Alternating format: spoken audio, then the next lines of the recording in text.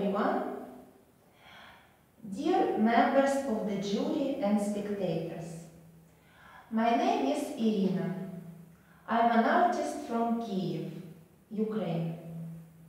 I'm glad to present you two of my paintings. Uh, the second um, painting is called Under the Tuscan Sun. It reflects my impressions of uh, the traveling to Italy last year and uh, as you can see it depicts a harvest fields and agitation warmed with the sun during the golden time of autumn.